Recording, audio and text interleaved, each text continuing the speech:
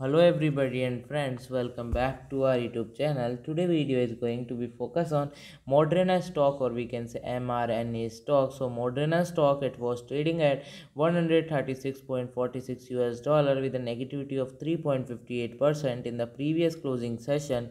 And so in this video, we are talking about its share prices, analysis, news, updates and other things about the stock and the company. So today's video is very important and interesting. So first of all, if you are visiting our channel for the first time, please subscribe our channel and also press on a bell icon for the genuine update. The, it was one of the stock that we covered in our recent videos and as this was the biggest one in terms of revenue, we thought let's have look at them first and after having done analysis in them, we got to admit this is a pretty interesting company with lots of interesting plan for the future. They want to grow their business significantly and the different ways that they want to achieve it.